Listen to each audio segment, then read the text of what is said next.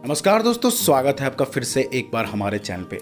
दोस्तों, जैसा कि आप लोग को पता है कि ऑटोमोबाइल इंडस्ट्री में काफ़ी सारे रेवोल्यूशन हमें हाल फ़िलहाल देखने को मिले हैं।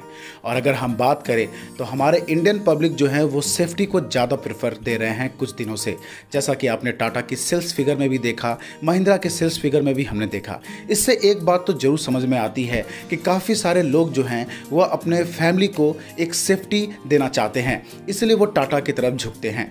आज हम बात करने वाले हैं कि मारुति सुजुकी एक ऐसा मौत का सामान बनाती है आप लोगों के लिए कि अगर उस गाड़ी में बैठे हो आप तो आपकी बचने की संभावना जो है वो ज़ीरो रेटेड है। सबसे ज़्यादा ज़ीरो रेटिंग की कार मारुति एंड हुंडई बनाती है। दोस्तों, अगर हम बात करें, मैं आपको बताना चाहता हूँ कि मारुति ने कुछ ऐसे मौत के सामान बना रखे हैं कि फीचर्स लोडेड होने के बावजूद भी वो आपके फैमिली को कहीं से भी सुरक्षित नहीं करता है। आप कुछ पैसे बचाने के चक्कर में या आप सर्विस के चक्कर में आपको लगता है कि मारुति में आपको हर जगह सर्विस मिल जाती है, मारुति की गाड़ी कहीं भी खुल जाती है तो हमें आगे चलकर प्रॉब्लम नहीं होगा।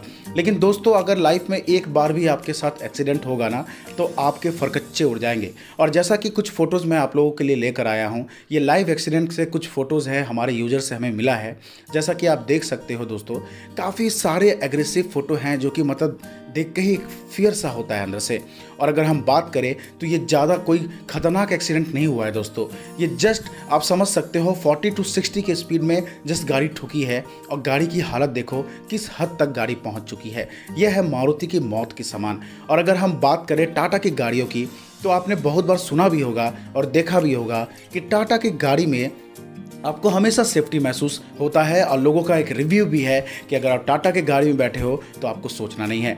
देश की कंपनी है टाटा और हमेशा भरोसा दिलाती है कि आप हमारे साथ सेफ़ हो। और इसीलिए इनकी जो सेल्स की फिगर जो है, वो काफ़ी इजाफा देखने को मिला है हमें हाल फ़िलहाल के दिनों में।